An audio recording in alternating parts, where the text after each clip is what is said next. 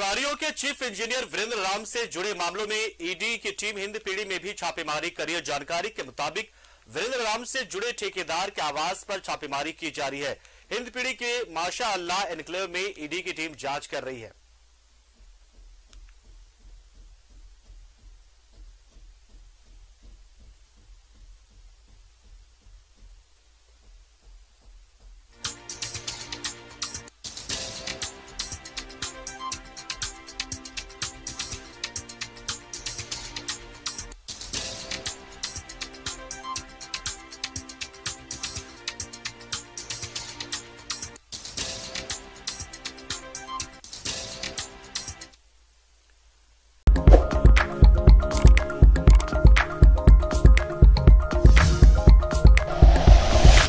Like and share videos, subscribe करें हमारा channel और प्रेस करें बेल आइकॉन न्यूज़ 11 भारत सच है तो दिखेगा।